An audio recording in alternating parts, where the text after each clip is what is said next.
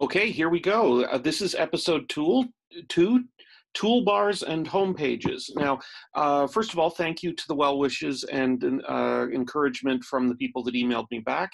But uh, I just wanted to quickly reiterate the purpose of what I'm doing here.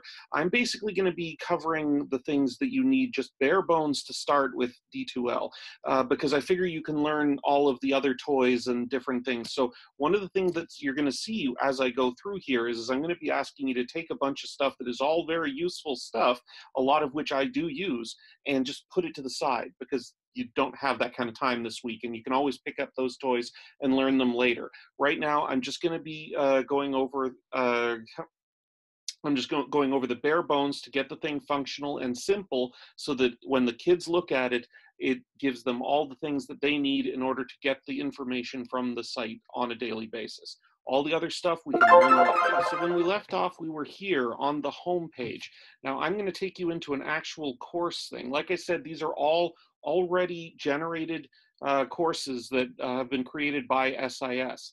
As a quick point, uh, if you happen to be one of the people that has a split class, that can be an issue here because you're going to have like two or maybe even three different courses that you're all going to be wanting to post the same content to and that can't communicate with each other.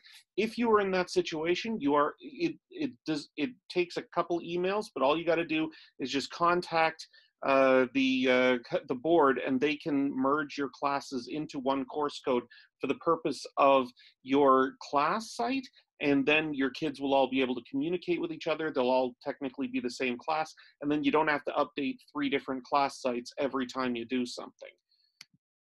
So I'm clicking into one of my course sites that I've deliberately set back to a default appearance. Yours may not be identical to this, but today I'm going to quickly go over how uh, how the site works so that you can quickly get it to look the way you want it to.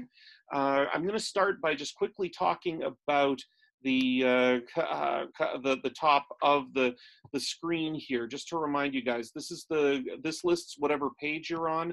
If you recall this is what lets you go between pages right here. Uh, this is your email thing which will get you back into email. I'll talk about email in a separate uh, episode later on. Uh, this is subscription alerts. I've literally never used it so ignore it uh, this is update alerts. Although it's useful for the students, you can also ignore it, even if it gives you a little uh, marker like this, because all it does is tell you when you yourself have updated your, uh, your course. So it's not doing anything meaningful. Uh, the settings thing here, or the admin tools thing here, whoops, is uh, only useful in that you can use it to import uh, import things in. You guys aren't, I'm not going to be going over that with you guys, but if you happen to uh, go through the Ontario Resource Bank and have uh, a prefab course or something like that you want to bring in, that's what you use that for. And then finally, the uh, you have your face here. I'm not going to go over any uh, like your anything meaningful here, except to say that the really important thing uh, that is going on here is that you have your uh, ability to switch over to view as a student at the top here. This is what lets you look at your course as students would see it, which is potentially useful because you uh, can occasionally get into a situation where you know a student says, "I can't see something," and uh, and you're like, "What's going on?"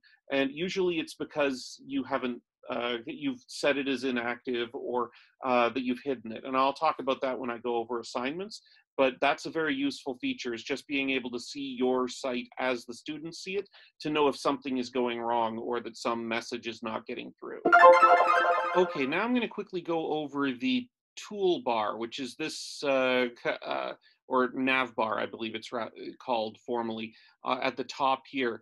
Uh, the course home is usually just to get you back to your main page from wherever it is that you've gone in, uh, in your thing.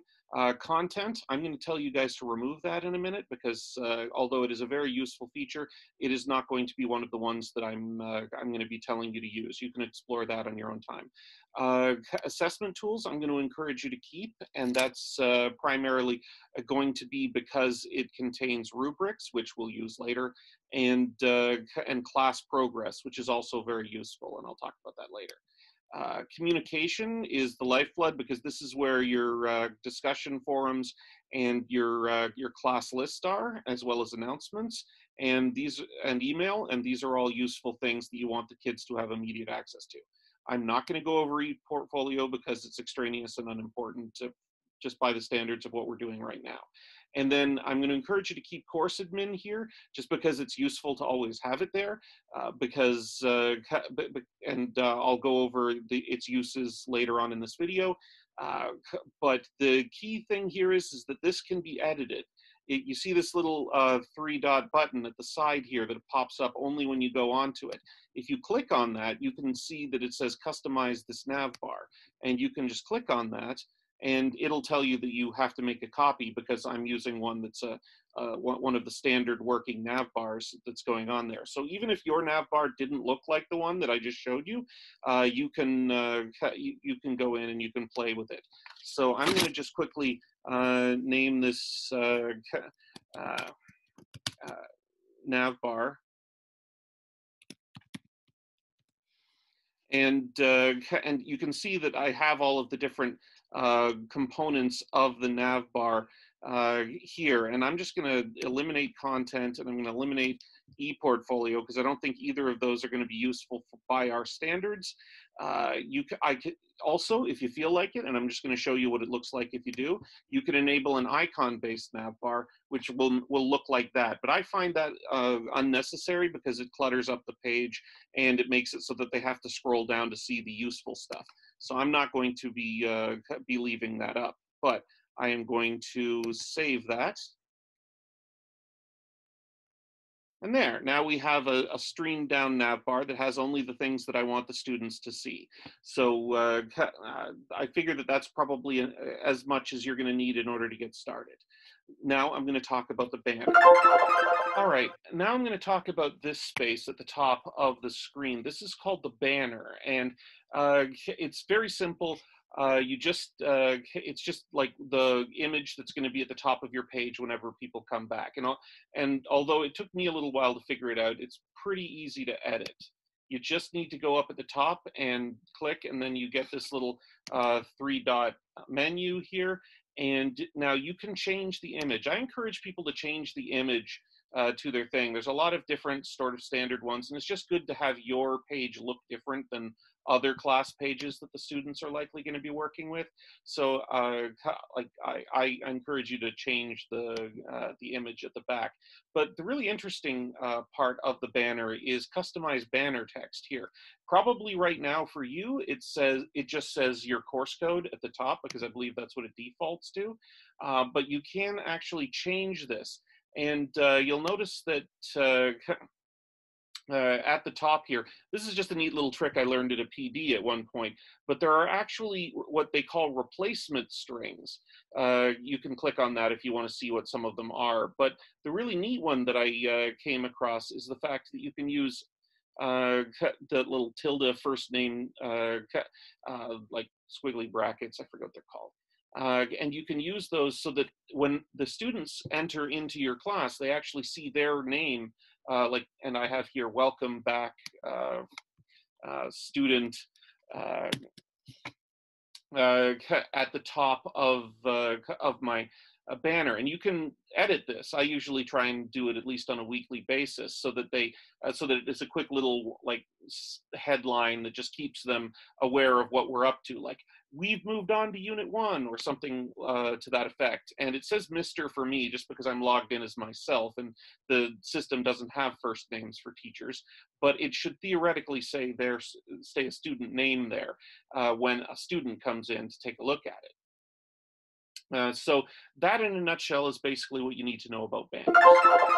All right, now I'm going to tell you a little bit about the home page, but uh, I'm uh, and I'm going to show you how how to use course admin in order to edit and modify your home page.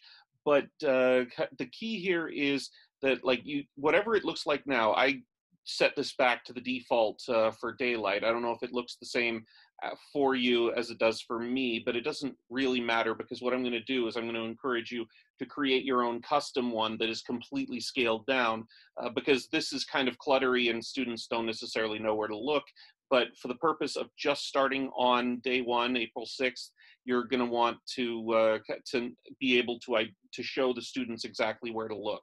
So for that reason, I am going to encourage you to go to course admin, uh, which is uh, and go to home pages, uh, which is one of the first uh, first things there.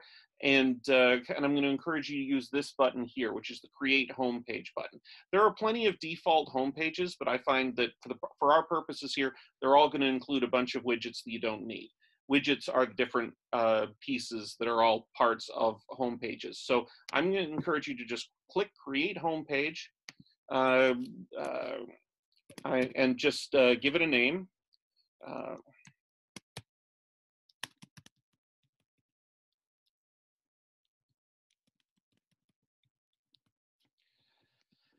You can put a, a description in. Uh, I'm just going to encourage you to just put a, a, a, date in there or something like that. It doesn't really matter. Uh,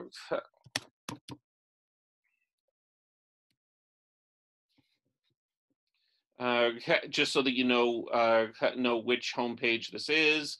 Uh, and uh, you're going to want to stick with widget based and you're going to want a very basic layout. Uh, the, the layout and what I'm going to be encouraging you to do is just for the purpose of today anyway, add just two widgets. Specifically, uh, if you click on uh, add widgets and you just add announcements, which you're going to be running your uh, course primarily out of, and add Google Apps. Uh, this is just because I know that a lot of you are probably used to using Google-based stuff with your students, and that will give them immediate access to uh, some of their Google uh, Google-based materials and their email and stuff like that, and that's potentially uh, very useful to them, although I won't be over, going over it in great depth. And uh, you can just take that and save it.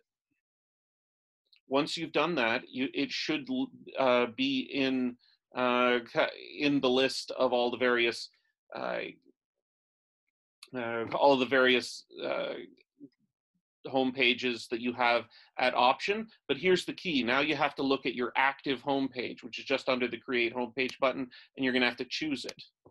Uh, and once you hit apply, then it will be on your actual course. So now we're going to switch, use the course home button at the top of the screen and we're going to switch back over here. And now there's just two things on your page.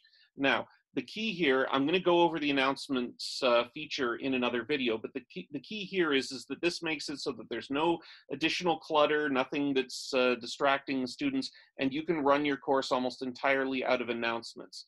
Uh, the first time I ran through this, I thought, oh, I'll use the activity feed. That sounds great, but don't. It's a trap because the difference between the activity feed and the announcement feed is announcements gives you a lot more functionality and activity feed doesn't import over when you do your when, when you uh, import all of the stuff that you've put on this course into the thing. So if you're ever going to teach an online course again and you want to move the stuff over the activity feed will not go with it but the announcements will. So if you're posting your lessons in announcements then you'll be able to keep them. So i encourage you to use announcements over the activity feed.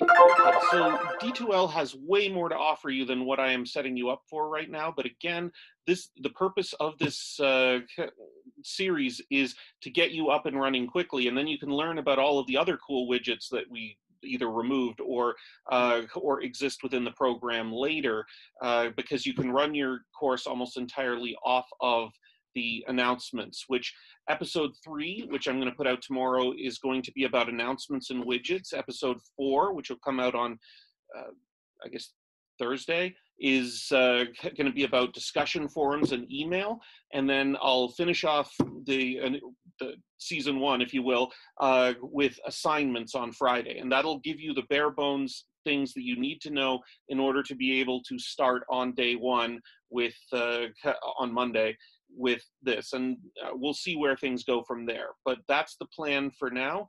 Uh, you can learn about all the other toys later but those are the things that you'll want to know going into next week. Uh, so uh, thank you again to the people that uh, that have wished me well on this and I will be back tomorrow. Uh, and I'm just going to say don't forget to like and subscribe just because I've always wanted to. So see you tomorrow